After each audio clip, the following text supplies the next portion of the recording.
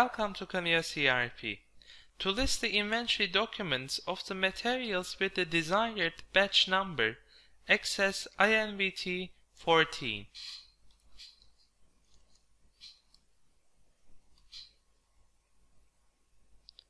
Fill in the relevant filter criteria in the following screen, and then click the search button. Here, the materials with the desired batch number are listed on the screen. You can see other details about the materials, such as their postpay, their availability, their quantity, their second quantity,